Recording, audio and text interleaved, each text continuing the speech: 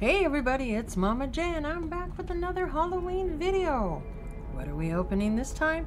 This time we are to open Horror Properties. This is Series 6. And the ones that you can get, there's tons of them here that you can get. You can get Jason, Annabelle, Freddy Krueger, Danny Tor Torrance, Pennywise, Regan.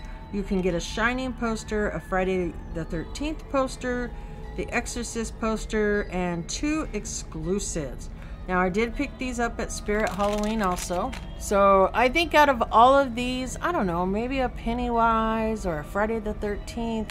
But again, so we're going to go ahead and we're going to bust this one open. We will be opening both of them. open the first one first. I did get two kind of flat ones because I was kind of shooting for posters. So to be honest, those are what I'm really shooting for are the poster ones because that's what, if you look right here, that's what the two exclusives are. So we're going to go ahead and pull this one. Ready? Boom. Oh, we got the Exorcist. Okay, so that's a common one. So we did get the Exorcist, but that's really cool. I like how these are made because I know it's hard to see on the camera, but they are like a 3D print. So they do stick out of there. So that's pretty awesome, or a 2D, I don't know, whatever the hell you call it.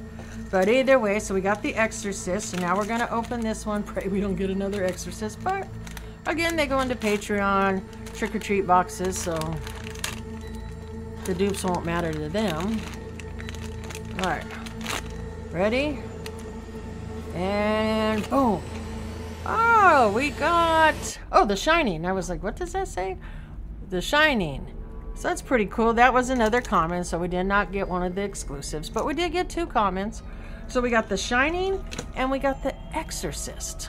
I think out of these two, I don't know, they're both really cool, but it kind of like, kind of like the one with the twins, but The Exorcist, I like the darker colors better. But either way, let me know down below which one is your favorite, because don't forget that comment will get you entered in a giveaway. The giveaway for October will be a trick or treat box, the same thing that will be sent out to my Patreons, probably around, uh, may have already been sent, I don't know.